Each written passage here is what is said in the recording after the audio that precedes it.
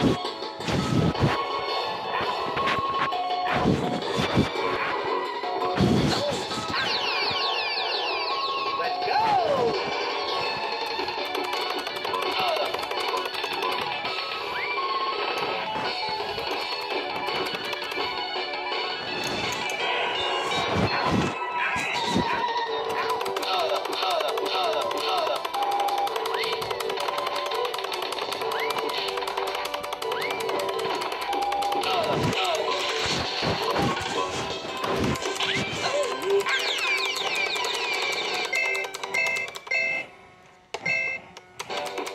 Let's